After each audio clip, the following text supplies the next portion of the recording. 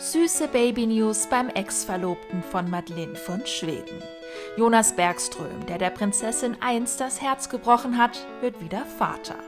Seine große Liebe hat der Rechtsanwalt in Madeleines ehemaliger bester Freundin Stefanie gefunden.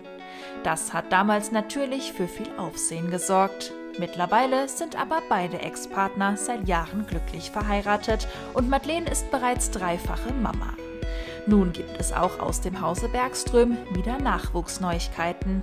Kind Nummer 3 ist unterwegs.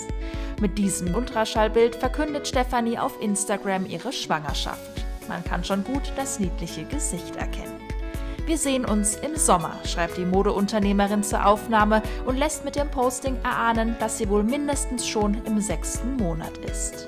Über die Baby News freuen sich bestimmt auch die großen Geschwister riesig.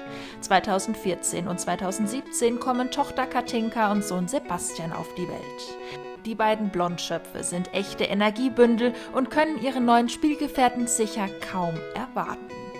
Mit Madeleines Glückwünschen ist wohl nicht zu rechnen, denn angeblich haben die beiden Ex-Partner keinerlei Kontakt mehr zueinander. Trotzdem ist es schön zu sehen, dass nach der turbulenten Vorgeschichte sowohl die Prinzessin als auch Jonas Bergström nun ihr perfektes Glück gefunden haben. Es sollte wohl einfach so sein.